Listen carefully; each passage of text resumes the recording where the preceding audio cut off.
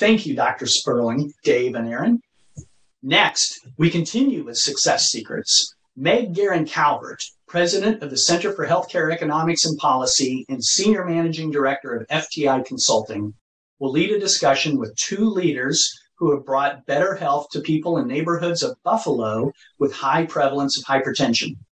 The Reverend George Nicholas is senior pastor of Lincoln Memorial United Methodist Church, and Maria Whyte is deputy county executive in Erie County, New York. The multi sector collaboration they lead has been successful at reducing health disparities in the community. Meg? Good afternoon. Thank you, John. I'm really excited to be uh, interviewing these uh, two leaders to share their insights. And let me start, Pastor Nicholas, with you directly. Before COVID, under the African American Health Equity Task Force, you had convened and mobilized a faith based partnership to understand the significant concerns about chronic conditions, including hypertension's the root causes, social determinants of health, and particularly their adverse effects in zip codes where the majority of African Americans in Buffalo reside. And in those early weeks of COVID, with that perspective, you met with county leaders to raise some specific significant concerns. Please set the stage for us and share what were those concerns, what was the ask of the county? Well, thank you, Meg. You know, we had been working on the issues of, of health equity uh, because there are some significant dis, uh, disparities between African Americans and whites in Erie County. And when COVID 19 hit the region, we knew because we had done our work around diabetes, asthma, hypertension, heart disease, that this uh, pandemic, this virus, was have a potentially have a devastating impact upon the African American community. And we also knew that many of the frontline workers that were in our healthcare system, our hospitals, were people from the African American community that would be vulnerable to the spread of the disease. So we pointed that out to the county leadership and uh, talked about how we can work in collaboration on developing a plan to meet the needs of people in those communities. Great. And then, Maria, you were sitting at the table. What did you and the county do that was perhaps unique in terms of responding to these concerns?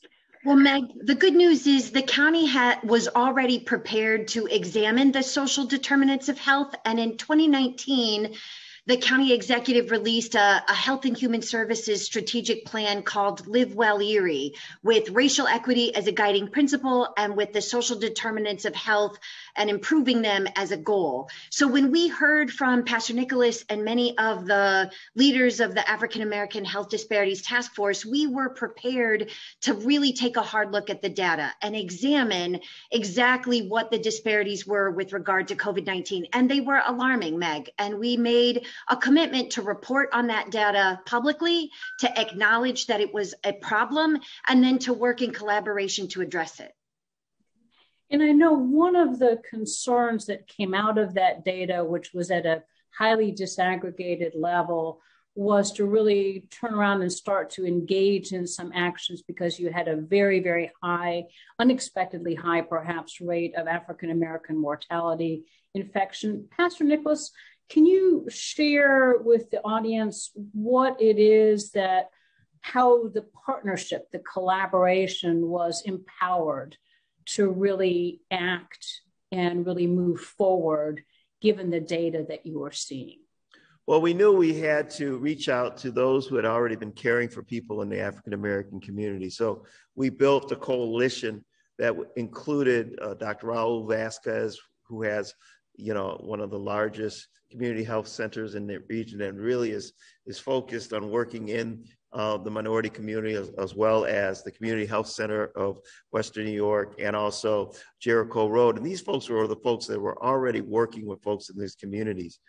And we reached out to the churches, our, the, we, the, and decided that we needed to contact the people in our community and give them one information about COVID 19, two, to do a wellness check up on them, get them connected to uh, testing, and then discover whether or not they needed uh, food or connections to primary care, uh, both physical and mental care. And we literally called people. We, we set up call centers in 15 churches in the, in the city of Buffalo. We hired people uh, from the community. Uh, a lot of them were college students who were at home from college because of the pandemic. We developed a tremendous IT system and we literally called everybody in our community. And those we didn't reach on phone, we were able to contact, or work with the National Witness Project, which is a group of community health advocates who literally knocked on people's doors in the midst of a pandemic just to find out how they were doing. And if people had concerns, if they needed uh, uh, transportation to, to primary care, if they needed to be able to get testing, if they needed food, they needed mental health services, we were able to do that work through our navigators right there at a one stop type thing. And Maria, let me ask you to add you know more about this massive phone bank and this initiative and what the follow-on was i know and we've provided in the backup materials an incredible list of partners that you brought in to add capacity. But share your insights from the county perspective well, on Yes, uh, gladly, Meg. Our contribution to the effort um, was twofold. One, I would say to bring in some uh, partners in the healthcare industry. So, Kaleida, for example, is the largest provider of healthcare in the Western New York region. And we were able to partner with them to who, in the early part of the pandemic, really had way more testing capacity than the county health department had. And because of this collaboration, collaboration, because of the county's power of influence, we were able to uh, to get Kaleida to set up testing locations in the African American community at uh, at places that were recommended by the community. Uh, but the other thing that we brought to the table, Meg, was resources, and by resources I mean cash you know, the county made a decision to use coronavirus relief funds to perform this kind of wellness check on our community and on people in our community that were in highly distressed uh, zip codes and and really in great need.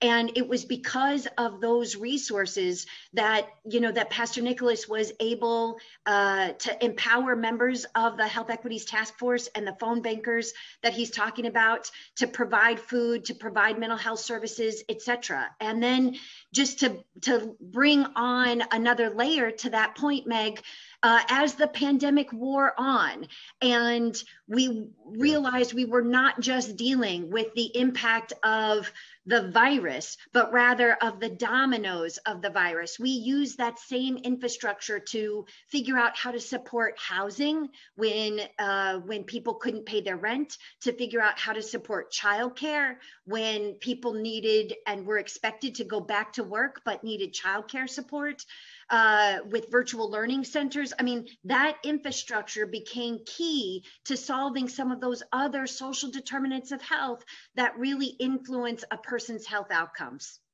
And then when the vaccines came out, we had the, the, the, the infrastructure in place to begin to start calling people that we had already had relationships with and to break down that vaccine hesitancy issue and turn it into access to vaccines. And where we were able to just in a 16 hour period make 1,200 appointments for people in our community for a community pop-up vaccine center that, that the county was working on. So the, the relationship is ongoing, and that's what's so key. And it, it sounds like the relationship is not just among you and the other trusted organizations and partners, it sounds like you're trusting in a way that it doesn't matter who takes credit. But what I'm hearing also, if I understand correctly, is it's using that trusted relationship to go that extra mile to reach out to the community member, to the resident who is most affected. Is that, uh, I think, the key takeaway as well for how to interpret what you've done? Well, it's new. Le- it's leadership. It's it's it's putting the needs of the people in the center of the work and the true leaders will build coalitions and will do the things that is necessary in order to make sure that the people get the service, they get what they need. And the, so the community, is our task force, understood those issues. And so when we reached out and invited the county to work shoulder to shoulder with us, they were a willing and enthusiastic partner because it gave them a clear path on how people can get some help. And that's the key. It's the leadership and keeping the people in need in the center of the conversation. And then all the other logistical and political and whatever issues that may be, those things can, will work themselves out. You just have to keep the needs of the people in the center of your work.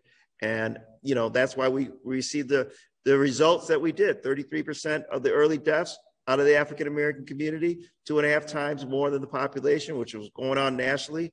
The latest data that we had, what African Americans make, four, up, make up 14% of the population in Erie County, and the death fatalities was below that rate, right?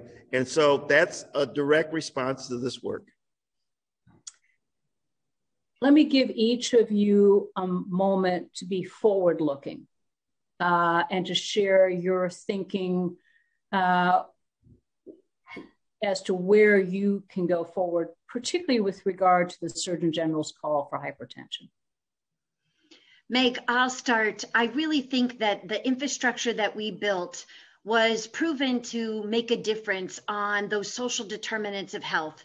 And that's not just the case for addressing COVID 19. But as we know, addressing the social determinants of health has a big impact on so many health conditions like heart disease, like diabetes, like obesity. So, all of the work that we did really produces an excellent recipe for tackling exactly what the Surgeon General is looking for our community to address now more than ever. As you know, you know, it's very well documented that hypertension is a major, major problem in the African American community.